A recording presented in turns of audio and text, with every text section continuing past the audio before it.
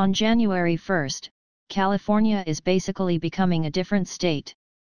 Protection for undocumented immigrants, tougher gun laws, recreational marijuana, California will welcome 2018 by turning into the US equivalent of a Scandinavian country. Hundreds of new laws of markedly progressive inspiration will go into effect in the Golden State come the new year, affecting everything from crime, to transportation, to wages. Immigration Undocumented immigration is arguably the area that will see the most significant regulations in California, especially as the federal government attempts to curb it. Per new state laws, local authorities will be limited in their ability to cooperate with the federal government in sharing immigration status, and landlords can face civil penalties if they threaten to report their renters to federal immigration authorities.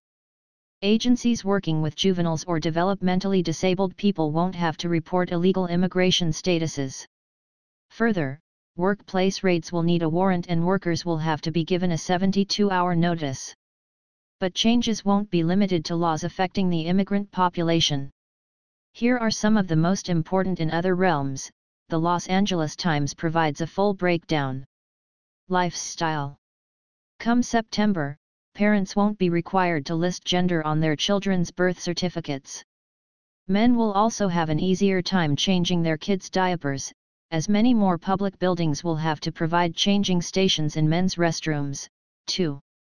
Education Schools won't be allowed to deny school lunch to children who can't afford it, and they will have to provide free tampons and sanitary supplies for students in grades 6 through 12. Work Companies with a staff of 26 or more will have to pay their employees at least $11 per hour, up from the current $10.50.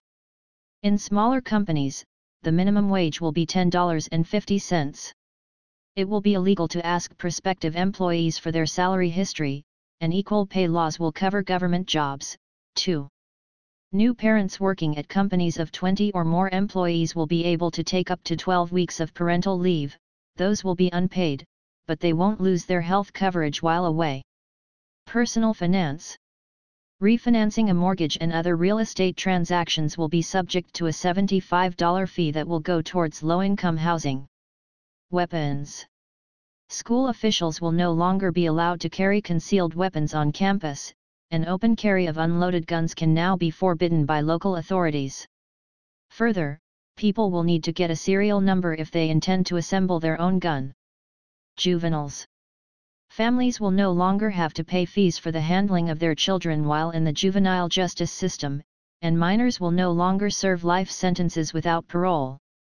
Marijuana Finally, people in California will be free to smoke marijuana recreationally. But not everyone will have easy, legitimate, access off the bat, only a few cities will have retailers licensed to sell recreational pot initially. Road etiquette Commercial bus riders who do not wear a seatbelt might be fined up to $20. Further, drivers will be subject to a fine for smoking pot in their car when on a state road. Beginning a road crossing while the signal is blinking will no longer be considered jaywalking. Health Antibiotics for animals will need prescriptions, and cleaning products will have to have clear labels for hazardous chemicals. Plus, AIDS will be treated like all other communicable diseases, and knowingly transmitting will no longer a felony.